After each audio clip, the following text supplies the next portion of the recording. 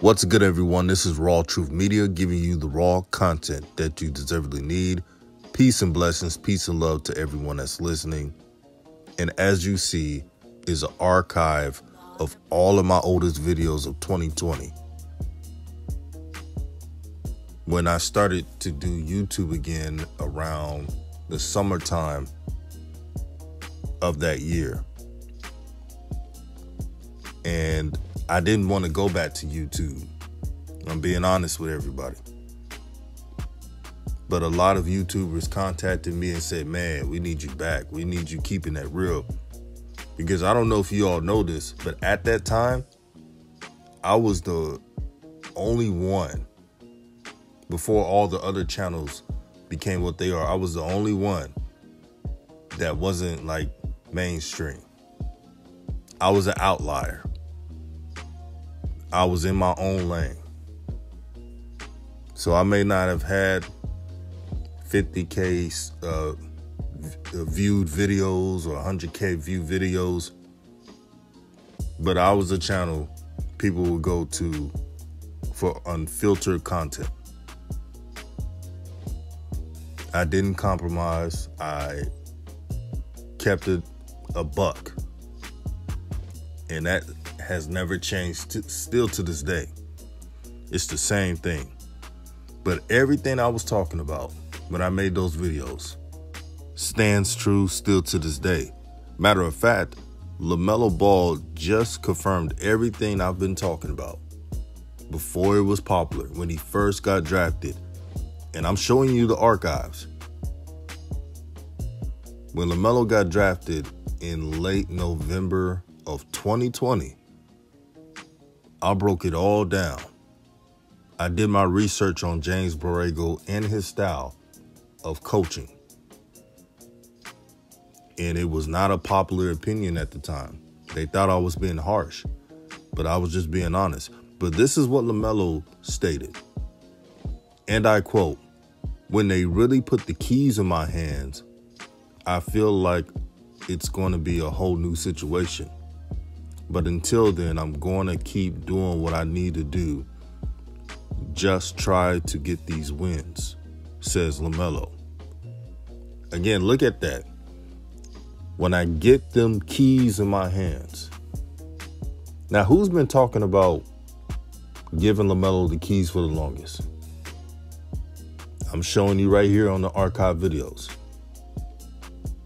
But let me keep going on. He also says, and I quote, I ain't gonna lie, every game I feel like I could do more than what I'm doing. It's just about reading the whole game and reading the whole situation. Another key word reading the whole game, reading the situation. Sounds familiar? A game within the game. Understanding the situation that you're in and having to overcome so many obstacles that's beyond basketball. LaMelo is clearly aware of the situations he's in and that it's not normal for him of his talent, his caliber. If you look at all the young players in the NBA, Ja Morant, Luka, Trae Young, and many more, everything's set right for them. The roster fits for them. The coaching is superb. They're more developed because they were handed the keys and able to close out fourth quarters. LaMelo has been begging for this, and rightfully so. He deserves this. He couldn't even get his jersey number. They couldn't even give him the number one jersey because Malik Monk, who hasn't accomplished serious success, let's be real now, wouldn't give him his number. You know what you do as an NBA owner? You either trade him earlier so LaMelo can have that number, or you tell Malik Monk, hey, LaMelo's are highly rated draft pick. So we're going to switch your number. Those are the two things you do.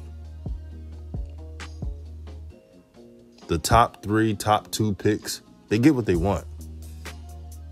And something as simple as a jersey number, LaMelo couldn't even get that.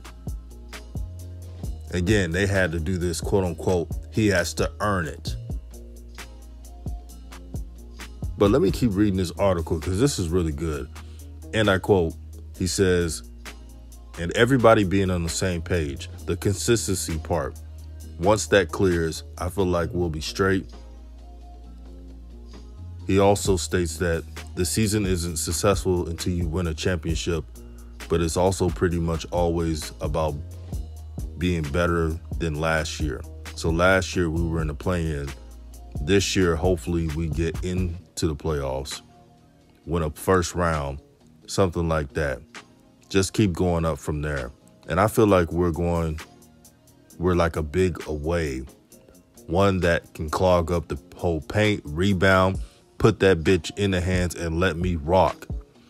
That's how I be feeling. And then we're going to be straight. Sounds familiar, doesn't it? Sounds familiar, doesn't it? I showed y'all the archives. I showed y'all the the same sayings that we've been saying. And I think LaMelo listens to a lot of YouTubers. I truly do. But I also believe he keeps to himself. I don't know LaMelo personally. But LaMelo seems like one of those brothers who he sees himself as just like everybody else. I'm sure he doesn't want to be around anyone that is a super fan.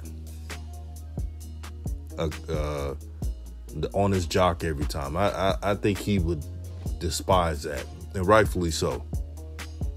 But I like what he said because I had a Twitter debate with someone who's a JB supporter three days ago when they were telling me that if the Hornets don't win a playoff series, it's not a failure. It is a failure. LaMelo just stated it will be a failure if they don't do better than last year. So Hornets, y'all know the drill. Y'all got to win a playoff series. Y'all got to not only win a uh, play-in game, you got to win a playoff series. You got to be better than the year before. And Hornet fans, y'all got to realize this team loses its luxury of rebuilding. You didn't want to build with young guys. You didn't want to build with uh, James Bouknight, JT Thor, and others. You wanted to have Gordon Hayward and Terry Rozier be your focal points. And you see where that's going. So, clinching a play-in series is not an accomplishment. I'm sorry. And LaMelo said the same thing in this article. He's not with the loser. And I'm glad he's being vocal. He's been dealing with the bullshit for almost two years with this organization, and he's fed up. And I'm glad he's speaking out. In the last couple of games, I don't know if you noticed, but LaMelo's minutes have increased. But I still see the fuckery. I still see the bad substitutions. But hopefully that gets rectified. But I just wanted to bring that to attention. Shout out to LaMelo Ball for not sugarcoating anything and being authentic. And Hornets, the Hornets organization, I got to do right by this brother if you want to keep him when his contract is up. That's all I got to say. Thank you to the Raw True family. Y'all been rocking with me since day one. Y'all didn't switch up. Y'all didn't just go along, get along with all different narratives. You were consistent with my channel. So I appreciate you guys. And I'm out.